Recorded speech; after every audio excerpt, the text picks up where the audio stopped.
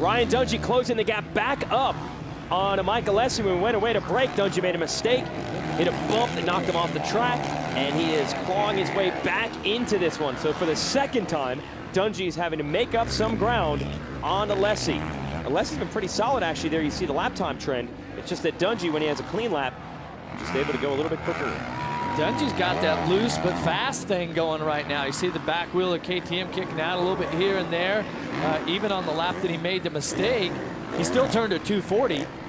So he made a big mistake, went off the track, and then the next three quarters of a lap, totally put the hammer down and uh, matched his lap time basically. So the race is on once again for this moto win between Michael Alessi and Ryan Dungey. Yeah, so we can bench race and talk about scenarios all we want. There you see Dungey at one point putting down a 236, where Alessi only with a best of 239 during that span. We could talk about the scenario the title's wrapped up and who's motivated based on what, but really it comes down to this. These guys are racers, and they both want to win. Doesn't matter where they are in points, what date it is on the calendar, what state the racetrack is built in. They just want to get to that checkered flag first. So we're going to see a real battle here for the win at Steel City. Well, and it looks like Alessi's got some pretty good lines. I mean, his pace isn't, I mean, isn't that much slower, maybe just a little bit. But what's going to happen is now once Ryan Dungey closes up, right here, Alessi's going to hear the crowd start to get into it. When you're out front, you start to hear the crowd, that means somebody's probably reeled in behind you. Plus, he's going to hear Dungey's bike. So the best thing that Alessi can do to try to hold the lead is put the blinders on. Focus on what he is doing. Focus on hitting every turn perfectly, not making any mistakes, and riding the very best that he can. Well, Alessi's darn good at that. He gets such good starts. He knows how to ride his line, not be affected by the pressure behind him. And I got to say, this year, there have been some moments maybe where Alessi is throwing in a brake check here or there, but for the most part, he's just riding his line. It's not full-on cutting off and blocking. Yeah, his, his pace has been good, and that's a maturity thing uh, with uh, Michael Alessi here, and he's shown a lot of respect uh, for Ryan Dungey this season, but also within that, he's still, you know, he's out there. He's trying to beat him, and he seems to be the one guy that uh, that really has the speed consistently. Of course, Tyla Rattray won the Moto2 at Southwick, incredible ride uh, for Tyla, but his starts um, here today have just really set him back as Rattray is back in 12th as we speak. Now remember, Dungey does not need to make this pass to win the overall for the weekend. He has it because he had a win in Moto 1. He'd have a second here, so that's a first and a second.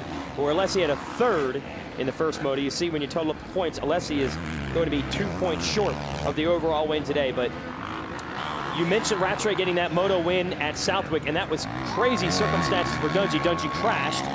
Then the fuel cap was knocked loose in the bike, and Dungey had to pit to refill the fuel tank. He still finished second at the moto, which was phenomenal to finish second considering that.